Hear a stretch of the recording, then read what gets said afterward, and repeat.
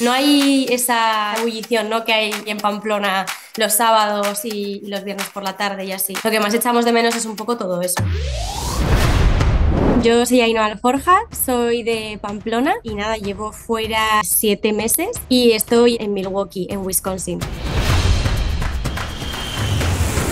Estoy trabajando para Ingeteam. Mi puesto es eh, Global Contract Manager de fotovoltaica, eh, almacenamiento e hidrógeno verde.